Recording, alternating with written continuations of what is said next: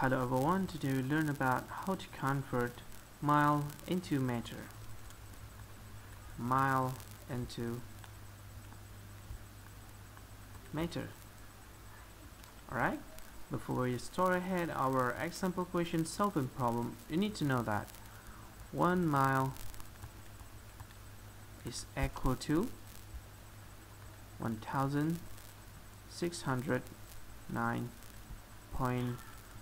1609.34 okay. Now for example I want to know um, I want to convert um, 10 mile into meter. Well how long does it took? 10 mile convert into meter. Alright.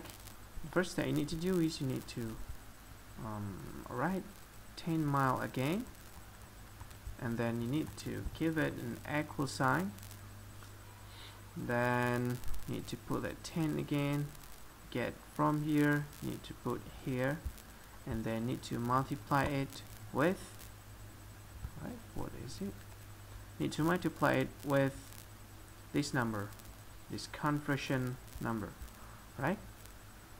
1609.34 meter alright now 10 miles is equal to